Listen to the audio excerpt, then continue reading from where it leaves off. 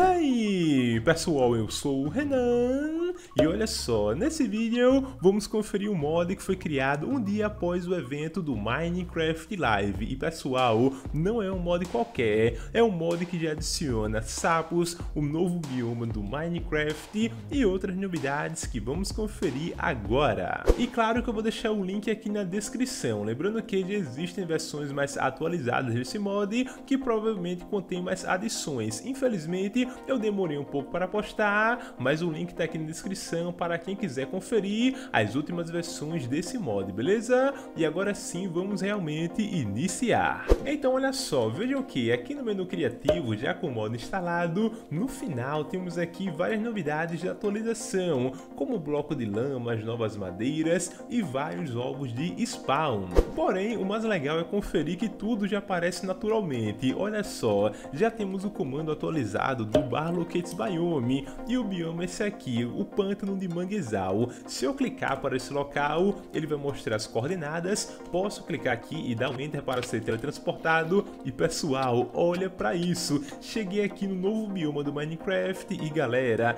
é muito parecido com o que foi exibido oficialmente, olha para isso, é realmente um pântano aqui, todo inundado, com essas novas árvores que aparecem realmente na água. E temos aqui também a lama, olha só que incrível, temos aqui a nova árvore que tem as raízes e muito mais. Inclusive vou pegar agora aqui os ovos de spawn, temos aqui o girino, temos o sapo comum, temos o sapo de regiões frias, temos o sapo tropical e temos aqui o girino no balde, olha só que legal. Vamos colocar primeiramente o girino e vejam que ele já está aqui nesse local, olha só que bacana, cara, como é que eles conseguem fazer isso tão rápido? E olha só, esse tá aqui, porém já temos aqui a geração natural desse a desse outro e caramba, isso é realmente muito legal. Temos mais aqui mostrando que existe uma geração natural. Mas claro, vamos agora conferir os sapos. Temos aqui o sapo tradicional, que é o sapo base, que tem essa cor alaranjada.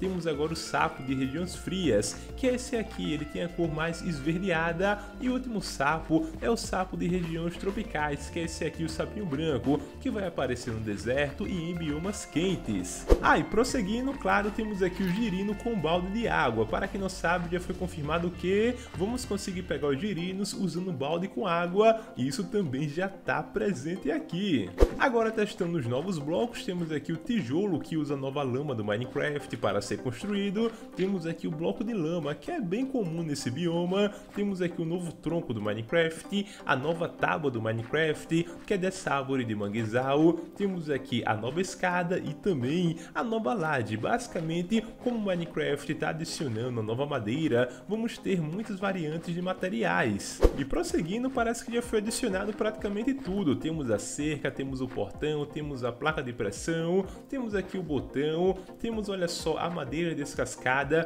temos essa outra variante também aqui da madeira descascada, temos aqui, olha só, o tronco com nenhuma borda, cara, isso é muito legal. Além de, claro, temos aqui o bloco de raiz que aparece na base e também temos aqui, olha só, as folhas que aparecem na copa das árvores. Ah, e para não esquecer, temos aqui também a nova porta e temos aqui o alçapão. Olha só como eles ficaram legais nesse conceito do mod. Cara, ficou muito legal, mas eu acho que uma das coisas que mais me agradaram foi realmente a geração desse bioma, que é bem interessante e a forma que as árvores são geradas aqui me agrada demais. É realmente uma disposição de árvores que normalmente não existe no jogo. E bom pessoal, esse que é o mod por enquanto ele tá dessa forma quando eu testei. Como eu falei no início, provavelmente ele deve ter evoluído e para conferir basta verificar o link aqui da descrição e agora comente o que, é que vocês acharam dessa velocidade que foi criada esse mod. Lembrando que um dia após o evento do Minecraft Live que ele foi criado. Para mim é uma coisa impressionante. Mas bem pessoal, se gostou do vídeo, deixa aquele like. Se não é inscrito no canal, clique em inscrever-se e também ative o sininho para receber as nossas atualizações. Eu vou nessa. Até o próximo vídeo. Falou!